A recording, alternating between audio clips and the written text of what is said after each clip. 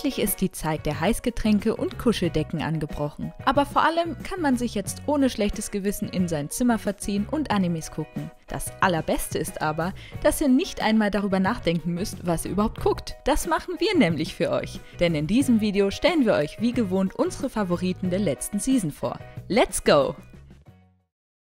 Das Historical-Genre wirkt manchmal wie ein etwas seltsamer Fremdkörper in der modernen Anime-Landschaft. So bildeten Samurai-Filme in der zweiten Hälfte des 20. Jahrhunderts förmlich die Achse der japanischen Live-Action-Filmproduktion, wodurch es kein Wunder ist, dass sich selbst heutzutage in Anime bei der Präsentation japanischer Geschichte noch immer jener ikonischer Bildsprache bedient wird.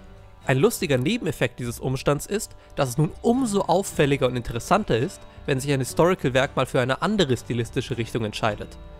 The Elusive Samurai ist ein Anime, der sich nicht weniger um jene Tradition scheren könnte. Zwar versucht sich das Werk, das auf einem gleichnamigen Manga von Assassination Classroom Autor Yusei Matsui basiert, zwar durchaus an der Adaption einer somewhat realen Geschichte, nämlich die der Kemu-Restauration zwischen 1333 und 1336, überzeichnet sie jedoch mit allerlei spielerischen und teils sogar übersinnlichen Elementen und bettet sie somit in das Gewand eines modernen Shonen. Die Serie folgt dabei dem ebenso realen Tokiyuki Hojo, der als kommender Shiken eigentlich der de facto Herrscher des Kamakura-Shogunats hätte werden sollen, sich nach dessen Stürzung durch Anhänger des Emperors Go-Daigo und damit zusammenhängenden Tod seiner Familie jedoch eher in der Rolle des Flüchtlings fand. Unter dem Schutz des Yorishi Gesuba, der sich noch immer als loyaler Retainer der Hojo-Familie sah, baute er eine neue Armee auf, immer mit dem Ziel vor Augen, nach Kamakura zurückzukehren und seinen Thron zurückzuholen. Soweit die Geschichte, die auch im Anime als Basisstruktur für die Handlung agiert. In der Praxis resultiert dies in einer Art Abenteuerstory, in der der junge Tokiyuki begleitet von seinen ähnlich jungen Retainern durch die Lande zieht und diverse Abenteuer erlebt. Der Fokus liegt hierbei vor allem auf der Charakterentwicklung des Tokiyuki, der zum ersten Mal in seinem Leben wirkliche Verantwortung zeigen muss und im Rahmen dessen etwas mit seinem Selbstwertgefühl struggelt. Bei der Darstellung jener Emotionen schwankt das Werk tonal ziemlich stark zwischen dem bereits aus Assassination Classroom bekannten Shonen-Stil und überraschend brutalen Sequenzen, sowohl emotional als auch visuell. Generell muss man sagen, dass der Humor in The Elusive Samurai nicht jedem gefallen wird. Er ist sehr aggressiv und teils recht speziell und das definitiv nicht im guten Sinne. Und auch generell schwankt die Qualität des Writings recht stark, wobei die charmanten Charaktere sowie auch die Action dafür sorgen, dass dies, at least für mich, nicht allzu sehr ins Gewicht fällt.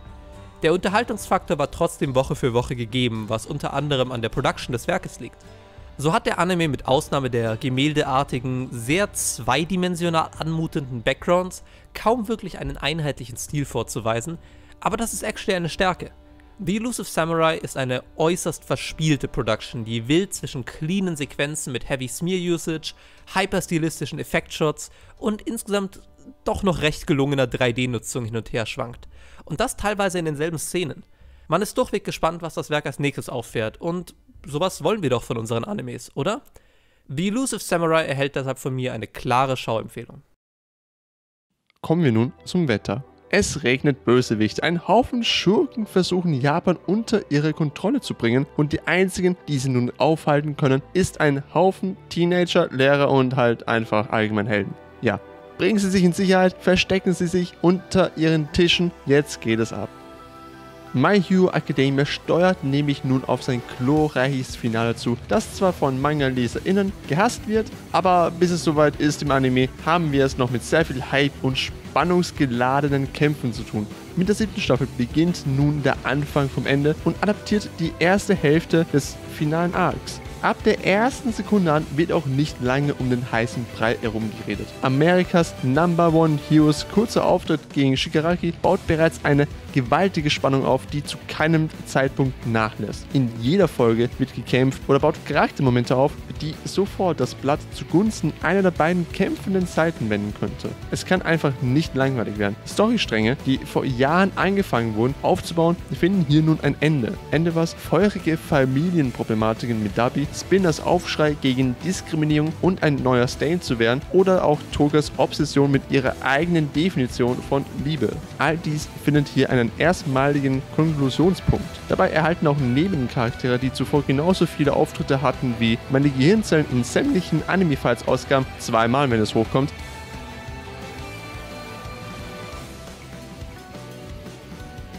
nun auch mehr Screentime und das in gar nicht mal so unwichtigen Thematiken. Das Diskriminierungsthema, was ich vorhin erwähnt habe, kam dabei überraschend und bringt es prägnant auf den Punkt. Nur wegen dem Aussehen oder einzelnen Fällen mehrere tausende Menschen in die Ecke zu schieben, ist nicht cool einfach. Dabei ist My Hero Academia nicht mehr subtil, wenn es um seine politischen Themen geht, sondern deutlich direkter. Klar, nicht alles erhält gleich viel Liebe oder Aufmerksamkeit aufgrund des schnellen Pacings. Insbesondere auch bei den Animationen merkt man wieder einmal, dass deren Hauptfokus weiterhin bei den Filmen liegt. Aber letztlich ist es am Ende des Tages weiterhin My Hero Academia und damit noch immer einer der besten Shonen, die man aktuell schauen kann. Selbst nach all der Zeit wird die abgeliefert und jeder Folge gelingt es Hype auf die nächste Woche zu generieren. Ich bin gespannt wie das alles sein Ende finden wird. Und dann werden wir sehen, ob es wirklich so schlecht ist, wie es viele so darstellen. Aber jetzt wird es mal Zeit für etwas weniger Spannung. Und eine andere Form von Spannung, sagen wir es mal so. Schnappt euch also nun nach all dem Adrenalin-Kick, den ihr mit My Hero Academia haben werdet, ein kühles Bier wie die Protagonistin vom nächsten Werk. Wenn ihr euch nun euer kühles Bier gezischt habt, ist es nun in der Zeit, euren Lieblings-VTuber-Channel eurer Wahl aufzumachen und abzuschalten. Das war auch der Plan der VTuberin Awayuki Kokorone, nachdem ihr eigener Stream eher mild ausgefallen ist. Doof nur, wenn man dabei vergisst, seinen Stream wirklich auszuschalten und der ganzen Welt sein alkoholgetränktes und vulgäres Ich zeigt und dadurch plötzlich jeder weiß, wie man drauf ist. Das ist der Start von VTuber Legend How I Went Viral After Forgetting to Turn Off My Stream. Wie der Titel bereits erahnen lässt, wirkt sich dieser Fall aber nicht negativ für Awayuki aus. Im Gegenteil, sie wird mit einem Schlag zu einer der bekanntesten VTuberinnen ihrer Agentur. Also machen wir das Beste aus der Situation und fangen an, auch im Stream das Bier wegzukippen. Bevor aber die Leute abschalten, die mit VTubern nichts anfangen können, hört mir zu. Normalerweise habe ich mit VTubern auch nicht viel am Hut. Wieso stelle ich ihn euch also dennoch vor?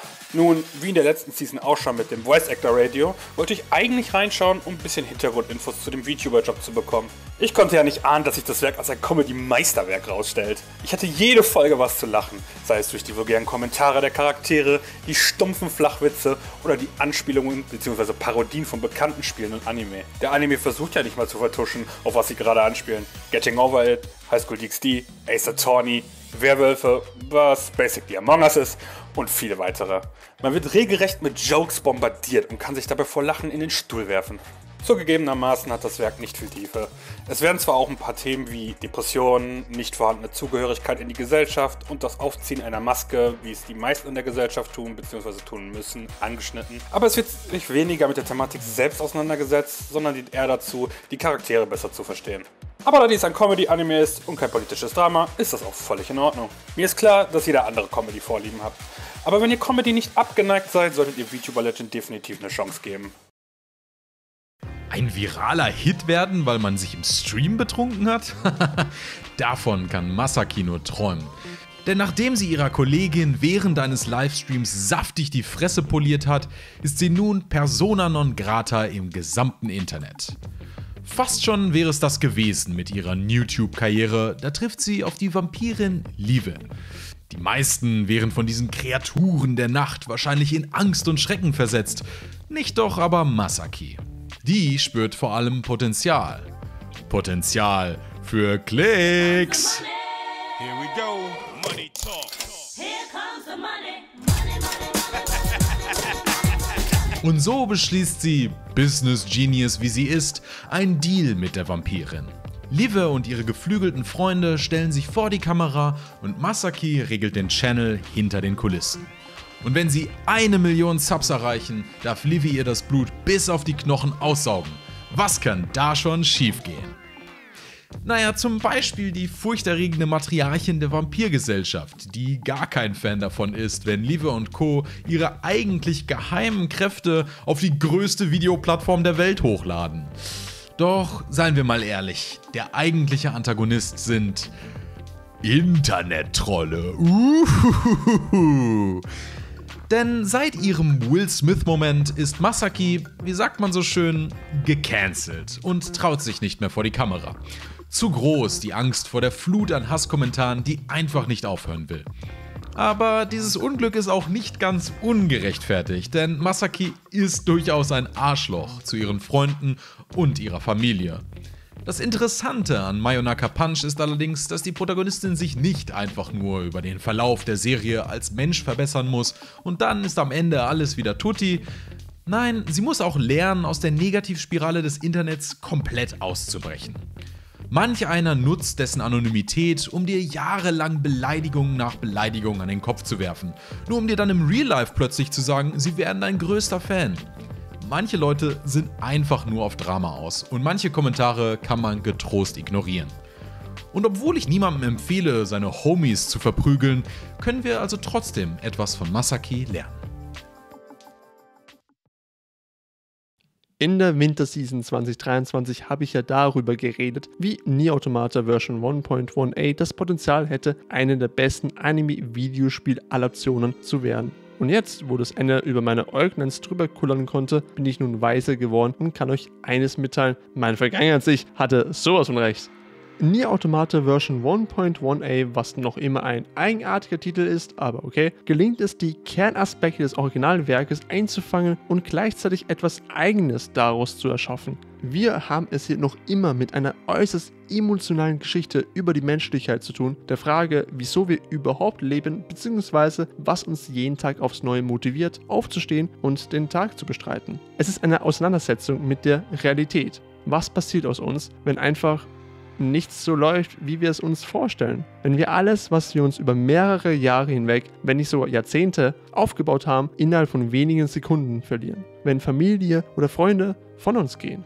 Oder wenn wir uns von der Gesellschaft ausgeschlossen fühlen. Was passiert aus uns, wenn wir mit diesen Situationen nicht klarkommen können?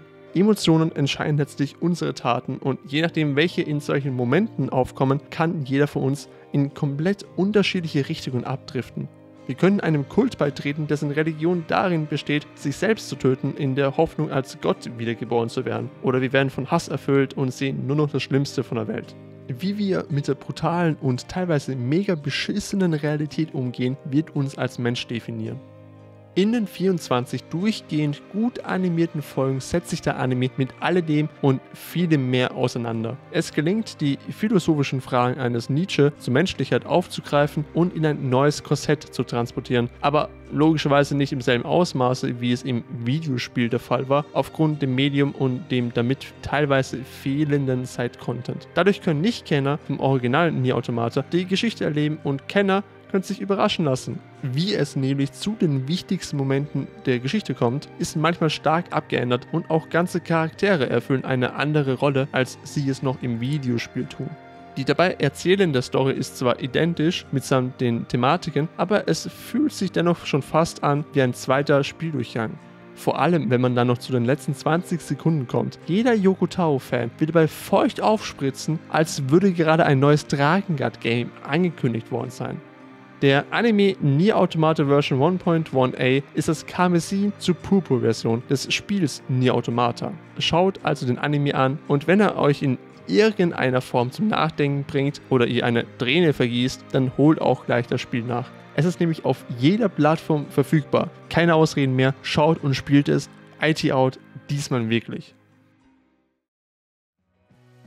Das war doch eine coole kleine Auswahl an Animes. Welchen fandet ihr am besten? Und welche haben wir vergessen? Und was ist euer liebstes Heißgetränk? Meins ist schwarzer Tee. Schreibt es uns gerne in die Kommentare und bis zum nächsten Mal.